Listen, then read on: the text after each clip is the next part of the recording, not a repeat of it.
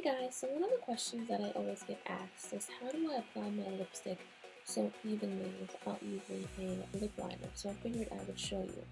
For starters, you're always going to want to prep your lips. You're going to want to exfoliate them so that when you apply the liquid lipstick or regular lipstick, it doesn't go on dry or patchy.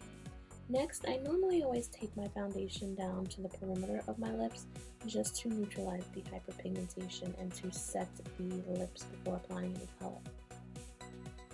Next, you're going to want to take a lip brush. Here I am using the Tarte Rainforest of the Sea lip brush because it's very dense and tiny and it allows me to really quickly pick up a lot of color that I need but easily manipulate it on my lips to give me those precise lines that I want.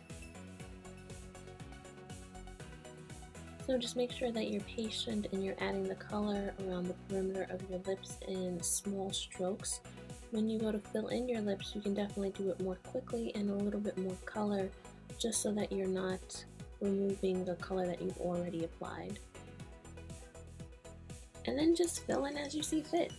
The thing that I love about not using a lip liner is normally when I use a lip liner, I can either use one that's a really close match to the lipstick or something that's going to shift the color of the lipstick itself.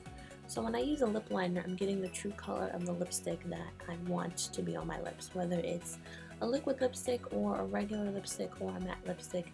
Just using a very dense lip brush makes it 10 times easier to get a perfect application that I don't really have to do much cleanup afterwards. Okay, so here you can see the lipstick. This was applied just by using the lip brush. I didn't do any sort of cleanup, any sort of manipulation or editing after this video. This is straight applied with the lip brush. I also chose to do this with the red matte lipstick because it's a little bit harder to do a bold red lip. So I wanted you guys to see how easy it is to get very precise lines with a lip brush with a red lip.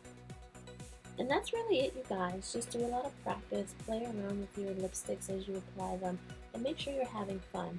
I'll have more information over on the blog article for this post if you're interested in learning a few other tips and seeing all the other products that I use in this video.